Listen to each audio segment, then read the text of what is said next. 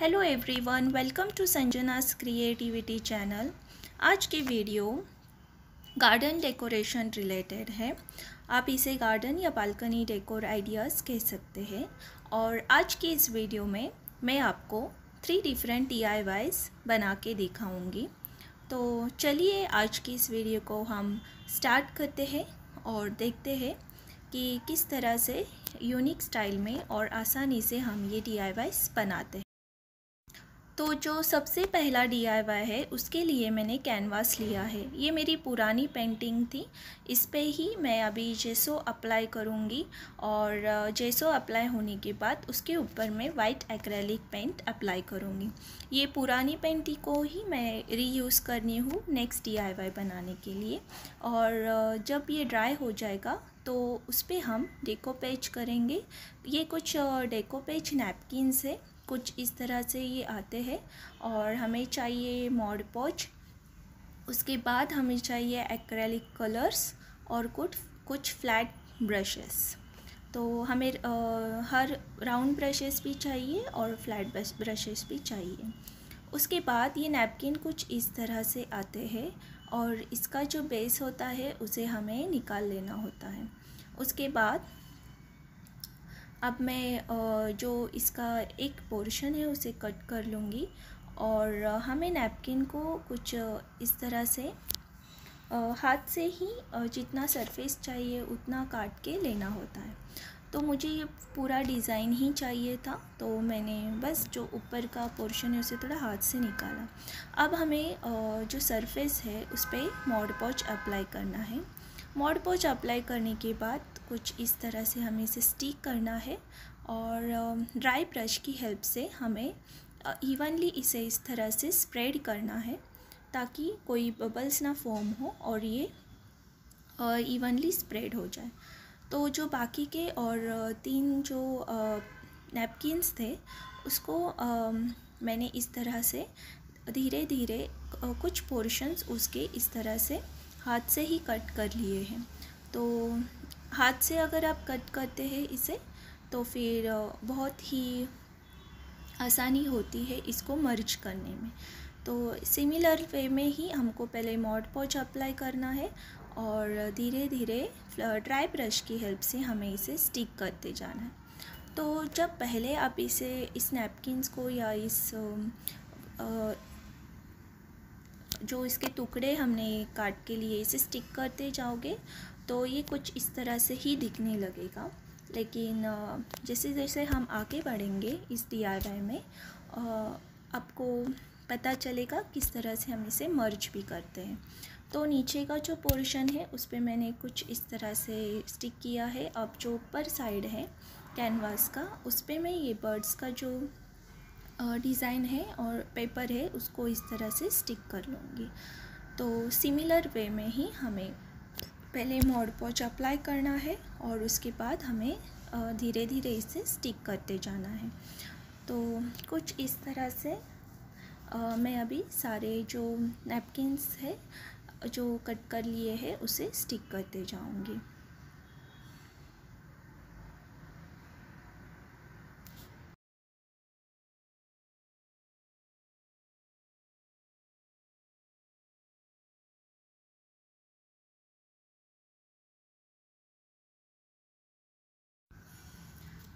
तो कुछ इस तरह से मैंने थोड़े थोड़े पार्ट्स में नैपकिन को डिवाइड करके, हाथों से ही कट करके, इस तरह से साइड में ही जो फ्लावर्स है, जो बर्ड्स है बटरफ्लाइज है, उसको इस तरह से स्टिक कर दिया है। अभी जो फ़र्स्ट टास्क है, वो बस हमने पूरा जो हमारा नैपकिन था, उसे स्टिक कर लिया है। उसके बाद जो अभी बेस पोर्शन है, उसको हमें पेंट करना है। तो आप देख सकते हैं जो नैपकिन का कलर था वो वाइट है, लेकिन मैं उसे अभी चेंज करने वाली हूँ।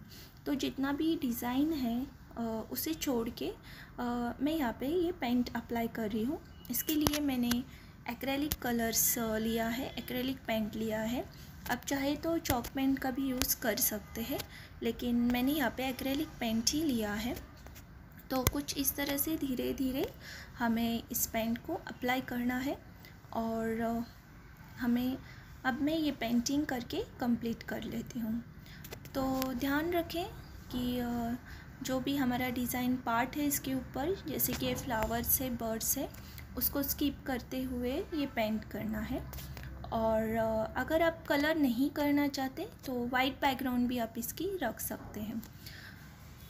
तो जब हम इसकी इस तरह से कलरिंग करते हैं बेस पे तो क्या होता है, कुछ पोर्शन जो है वो फेड हो जाता है। जो डिकॉपोज पेपर पे जो डिज़ाइन है, उसका जो पोर्शन है वो फेड हो जाता है। तो इसके लिए फिर से उसे हाईलाइट करने के लिए, अगर फेड नहीं भी हुआ है तो हमें हाईलाइट करने के लिए कुछ इस तरह से हम उसके ऊपर कलर अप्लाई करेंगे। आप चाहे तो वाटर कलर का यूज़ कर सकते हैं इस वर्क के लिए, लेकिन मुझे थोड़ा सा ब्राइट रखना था, इसीलिए मैं एक्रेलिक कलर्स यूज़ कर रही हूँ।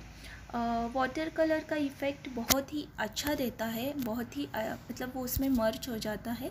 लेकिन यहाँ पे जो फ्लावर्स है जो रेड कलर में है वॉयलेट कलर में है उसके ऊपर मैं वही कलर एक्रेलिक कलर्स अप्लाई करके बस उसे हाईलाइट कर रही हूँ। मैं सारी जो जो चीज़ें हैं मतलब जो डेकोपोज नैपकिन के ऊपर जो डिज़ाइंस है, उसको मैं पेंट नहीं कर रही हूँ। मैं बस उसी कलर से हर एक चीज़ को हाईलाइट कर रही हूँ। अब देख सकते हैं। तो जैसे कि फ्लावर्स हो गए, बटरफ्लाइज हो गए, इस तरह से धीरे धीरे हमें उसी शेप में उसकी, उसी ही कलर्स को लेके, सेम शेड्स को लेके हाईलाइट करना है। तो ये हो गया हमारा सेकेंड स्टेप, कलर अप्लाई करने के बाद। तो अगर इस तरह से आप वर्क करते हैं तो धीरे धीरे आप देखोगे आपको दिखेगा कि ये मर्ज होते जा रहा है। मतलब जो इफ़ेक्ट पहले जो देखता था नैपकिन का सेपरेट सेपरेट जो उसके पार्ट्स दिखते थे, वो अब नहीं दिख रहे हैं। तो ये इस तरह से हो जाता है। तो इसके बाद मैंने कुछ लीव्स इसमें ऐड किए हैं और कुछ इस तरह से कुछ एडिशंस इसमें किए हैं। और अब जो बर्ड्स है, जो ब्रांचेस है, जिस पे वो बर्ड्स है, उसको भी मैं हाईलाइट करूँगी। तो कलर करने के बाद क्या होता है कि कुछ पोर्शन फेड हो जाता है, इसीलिए हमें हाईलाइट करना होता है बाद में। तो इस तरह से मैंने कुछ लीव्स भी इसमें ऐड किए हैं। तो इस तरह से आप कुछ ऐड भी कर सकते हैं। चाहिए तो आप कुछ डिज़ाइन आपके मन से भी बना सकते हैं। तो जो बर्ड्स है उसको तो मैं नहीं चेंज करूँगी, लेकिन थोड़े थोड़े कलर्स उसमें भी मैंने हाईलाइट के लिए ऐड किए हैं।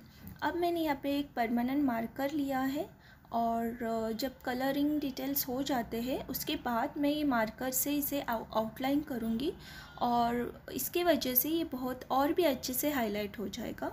तो मार्कर के साथ पूरा जो डिज़ाइन है, उसको मैं आउटलाइन करूँगी।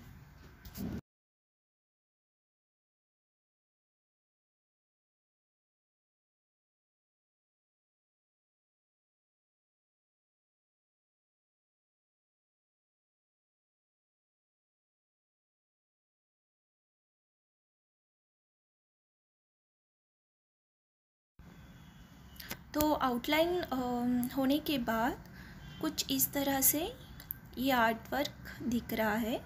तो जैसे कि मैंने आपको स्टेप बाय स्टेप बताया कि किस तरह से हमें ये डिकोपेज वर्क को कंप्लीट करना है। तो आप देख सकते हैं, ये बहुत ही अच्छे से एक दूसरे में मर्ज हो गया है। उसके बाद मैं इसमें कुछ गार्डन रिलेटेड थॉट लिखने वाली हूँ।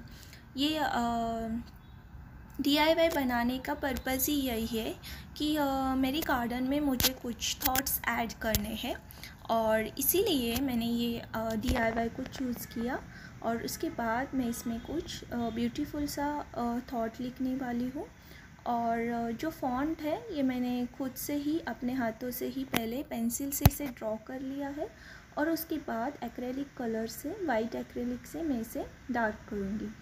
अगर आप चाहते हैं कुछ आपके मनपसंद का फ़ॉन्ट लिखना तो आप लिख सकते हैं या फिर आप प्रिंट लेके भी उसे लिख सकते हैं। तो इस तरह से अब मैं इसे कंप्लीट करूँगी।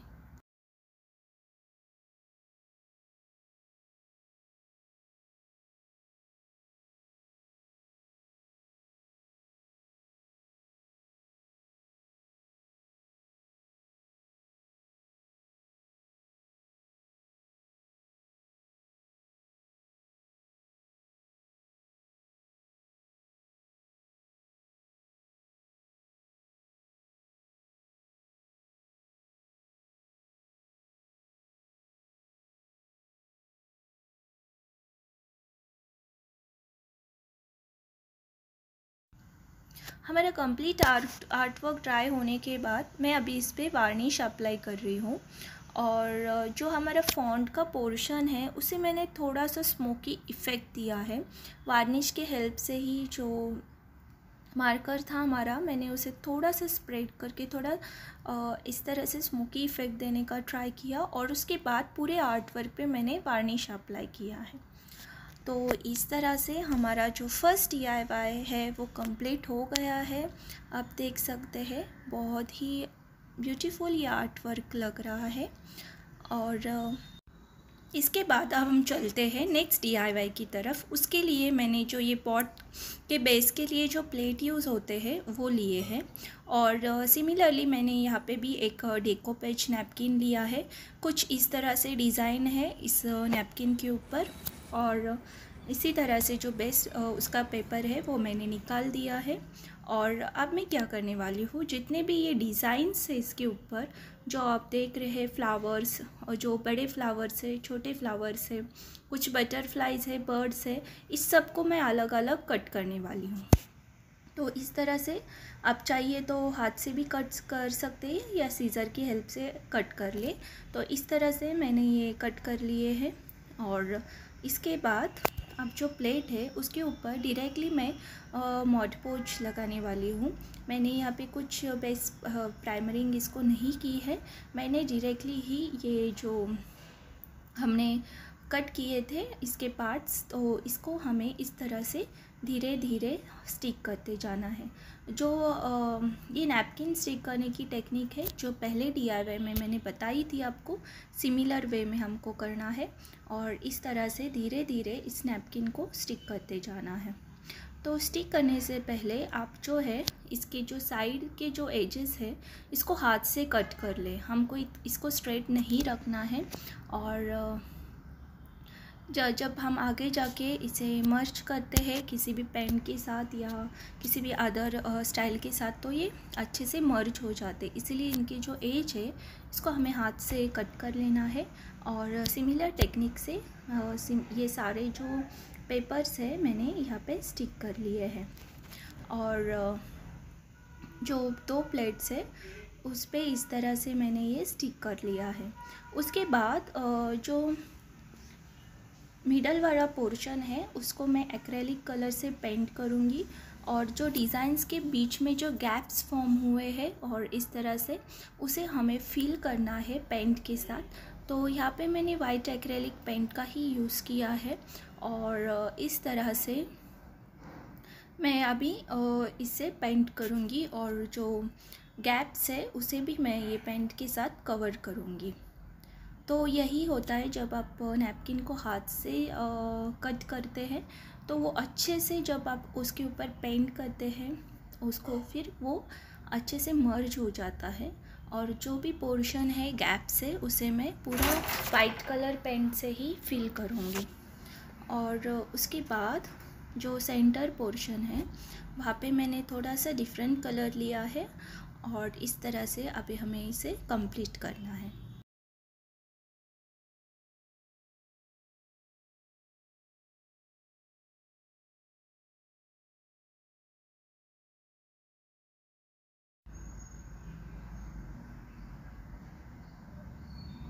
तो इस तरह से जो वाइट कलर और बीच में का कलर है वो फिल हो गया है। उसके बाद इसका जो एज है, उस पर मैंने सेम कलर जो टेराकोटा कलर है, वही अप्लाई किया है ब्राउन कलर और उसे मैं अभी एज पे अप्लाई करूँगी। तो आप देख सकते हैं, हमारा जो पेंट हमने जो लगाया है वो कंप्लीट हो गया है। अब जब हम, मैंने पहले भी आपको बताया कि जब हम ये इसके बेस कलर अप्लाई करते हैं तो थोड़ा सा जो इसका नैपकिन के ऊपर जो डिज़ाइंस होती है थोड़ी सी फेड हो जाती है और एंड में हमको बस उसे थोड़ा सा हाईलाइट करना होता है पेन के साथ। ज़रूरी नहीं है कि आप उसको हाईलाइट ही करें, इतना ज़रूरी नहीं है, लेकिन मैं थोड़ा सा उसको सिमिलर कलर्स के साथ ही उसको आउटलाइन करूँगी और थोड़ा सा हाईलाइट करूँगी। तो मैंने जितने भी डिज़ाइंस पे, जो जितने भी कलर्स है, उसी कलर्स के साथ ही इसे हाईलाइट किया है। तो जो भी डिज़ाइन थोड़ा सा फेड हो गया है, वो दिख दिख जाएगा। तो इस तरह से अब मैं पूरे डिज़ाइंस को कंप्लीट कर लूँगी। तो अभी तक जिन लोगों ने मेरे चैनल को सब्सक्राइब किया है, मैं उनको वेलकम करूँगी। और अभी तक जिन लोगों ने सब्सक्राइब नहीं किया है, वो ज़रूर सब्सक्राइब कर लीजिए और बने रहिए मेरे साथ आगे आने वाले वीडियोस में।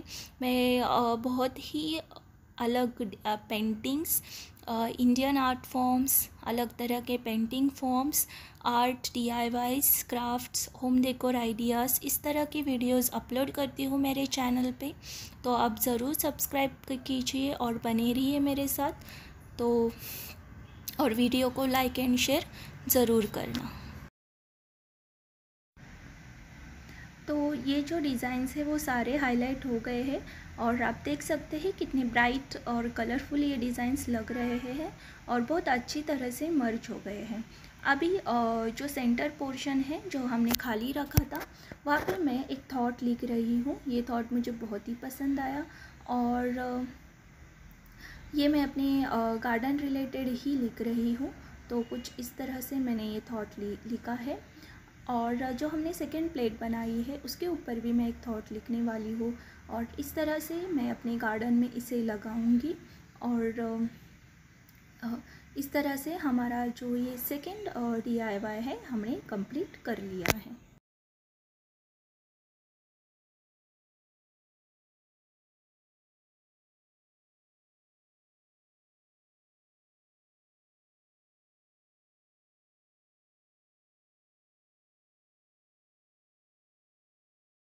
ये दोनों प्लेट्स रेडी हो गए हैं और आ, इसको मैंने एंड में वार्निश से सील किया है वार्निश अप्लाई किया है और मैं इसको अपने बालकनी वॉल में या गार्डन वॉल पे इसे लगाऊँगी। तो इस तरह से ये जो प्लेट्स हैं ये रेडी हो गए हैं। तो नेक्स्ट अब हम चलते हैं हमारी थर्ड डी की तरफ़। जो थर्ड आर्ट है उसके लिए मैंने ये जो एक टोकरी ली है, ये मैंने पहले ही, बहुत पहले इसे इस तरह से पेंट किया था और इसका कलर जो है अभी ये फेड हो गया है। अब फिर से मैं इसके ऊपर कुछ कलर अप्लाई करूँगी और इसके लिए मैंने सिमिलरली एक्रेलिक कलर्स का ही यूज़ किया है और सेंटर से इस तरह से स्टार्ट होते हुए हमें कलर्स को अप्लाई करना है। सबसे पहले आप देख सकते हैं मैंने ब्लैक कलर जो है वो सेंटर पोर्शन में फिल किया है। और इस तरह से कुछ डिज़ाइन पैटर्न्स बनाते हुए आ, मैं डायरेक्टली ही कलर्स इस पर अप्लाई करूँगी। ये बहुत ही इजी डीआईवाई है और बहुत ही ब्यूटीफुल दिखता है होने के बाद। ये आसानी से आपको आ, मिल जाएगा और आप इस तरह से इसे पेंट करके अपनी बालकनी को डेकोरेट कर सकते हैं। तो कुछ इस तरह से रैंडमली ही मैंने डिज़ाइन को डायरेक्टली ब्रश से ही बनाया है और पेंट किया है।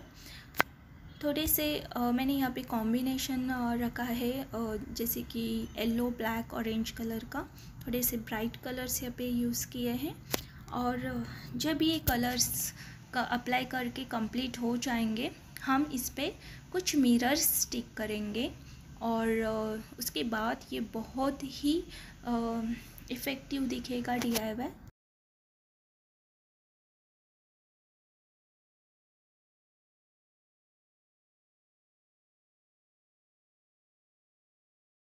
थोड़ा सा हाईलाइट करने के लिए यहाँ पे मैंने ये वाइट कलर से इस, इसकी बॉर्डरिंग की है।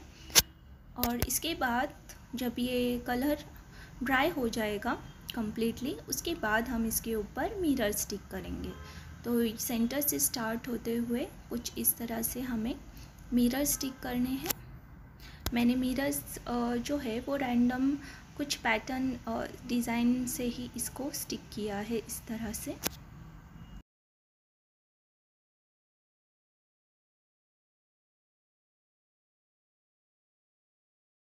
तो देख सकते हैं ये कितनी डेकोरेटिव लग रही है और मैं इसे इसे भी सिमिलरली अपने गार्डन या बालकनी वॉल पे लगाऊँगी और अपने गार्डन को डेकोरेट करूँगी। तो इस तरह से हमारे जो तीनों डीआईवाई है, वो कंप्लीट हो गए हैं और आप देख सकते हैं मैंने ये अपनी बालकनी वॉल पे हैंग किया है। ये थॉट के साथ और ये डी के साथ ये बहुत ही खूबसूरत लग रहा है। ये जो प्लेट से हमने बनाई थी और ये सेंटर वाली जो टोकरी है, इसे भी मैंने हैंग किया है। अगर वीडियो पसंद आई तो लाइक शेयर एंड सब्सक्राइब ज़रूर